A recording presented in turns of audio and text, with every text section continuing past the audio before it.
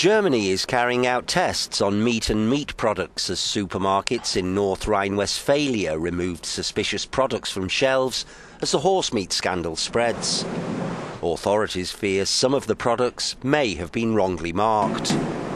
EU ministers have called for more DNA testing and tighter labelling procedures. This is uh, an EU wide problem uh, that needs an EU wide solution. Uh, and whereas the primary responsibility for enforcement of traceability, of labelling rules, of regulations around uh, protecting consumers uh, in the food supply chain rests with individual member states, there is, of course, also a coordinating role from a policy point of view for the Commission. Britain and Ireland urged EU authorities to propose changes to labelling rules that would force producers to provide the country of origin of processed meat products.